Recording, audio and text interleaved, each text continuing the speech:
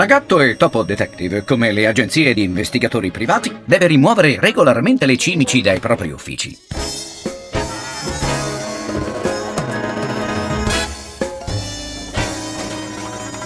Lasciate fino a diventare blu senza fiato.